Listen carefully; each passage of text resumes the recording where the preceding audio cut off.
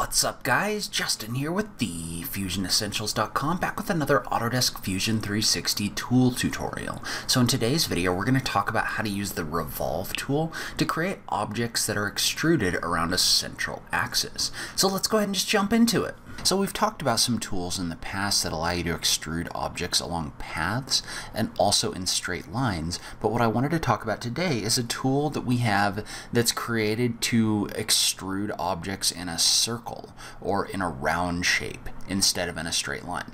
So um, this tool is called the Revolve tool. You can find it in the solid section under the create or I also have it up in the actual shortcut section up above. But if you click on create and then look down a little bit, revolve should pop up right here.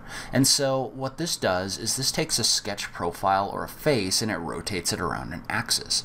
So in this situation, for example, let's say we wanted to take this profile and extrude it along an axis, all we would do is just activate the revolve tool. So just click on the tool and then you need to give it a profile. So in this case, that's going to be our sketch and then an axis, which is going to be our central point. So we're going to click on axis, and then we're going to click on our uh, blue axis right here. And what that's going to do is that's going to automatically extrude this into a circle. So it's going to extrude at 360 degrees. And so when you take a look at this, you'll notice that there's an option in here, a little circle that you can drag in order to extrude this less than 360 degrees. So you can see how I can click and drag this and I can set a number of degrees either by dragging it or by typing a value. So if I was to type in 270, for example, this would extrude this 270 degrees. So you can either extrude this all the way in a circle, which you can click on the full button in order to do that as well, in the type section or by adding your angle. And so one thing to note about this is you also have the option to use the direction functions in order to adjust this. So you can do one side, which is what we've done right now, that just extrudes the one face in one direction, or you could do two-sided, which allows you to dictate where both faces go. So you can see how this gives me the value, the ability to add two different angles to this object. Or you can use the symmetric option, which is going to basically extrude your objects symmetrically in two different directions. You can set like 120 degrees and it'll do this 120 degrees and it'll do this 120 degrees. So you can also use the symmetric function if you need to create a more symmetrical object here. And notice if we look at this that this will allow us not only to create a new body or a new component, but it also supports the join, cut, and intersect functions. So let's say for example that we did take this object and do a full circle with it, and then let's say we wanted to cut some profiles or something into this, so maybe some notches or something like that. What we could do is we could create another sketch. So we just come in here and draw on this. And then let's say I was to just take a rectangle and draw it in here. We'll just draw a couple different rectangles.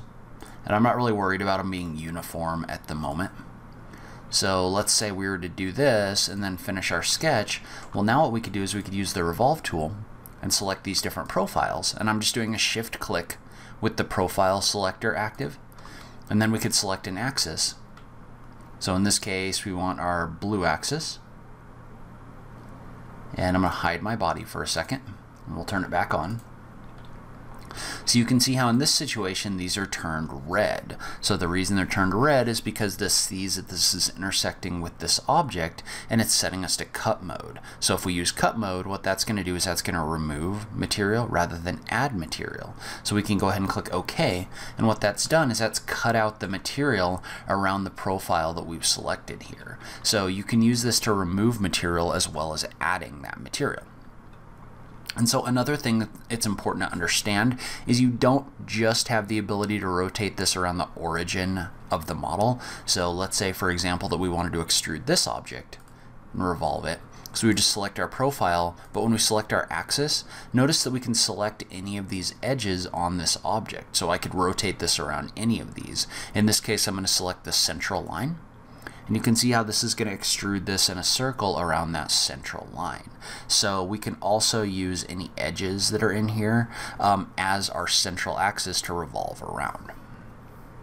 And so another thing you might end up doing with this uh, tool is not only can you do this to create objects that are touching the central point, but you can also do this with objects that are a ways away from your central point. So for example, let's say I wanted to revolve this circle that I've created.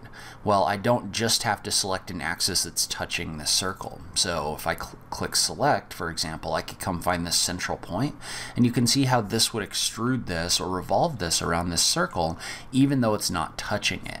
So you can use it to make larger objects that follow a circular path inside of your model. So another example would be if I wanted to take this profile right here, select my central axis, you can see how you can use this to make different caps or different angle pieces or other things like that that go in a circle. So you're not limited to just having your object touch that central axis. The further away from the axis your object is, the larger the radius of your circle, that you create when you do this is going to be. So that's kind of an overview of the Revolve tool and how you can use it to create 3D objects inside of Autodesk Fusion 360. Leave a comment below. Let me know what you thought. Are you using this tool? What do you use it for? I just love having that conversation with you guys. If you like this video, please remember to click that like button down below. If you're new around here, remember to click that subscribe button for new Fusion content every week.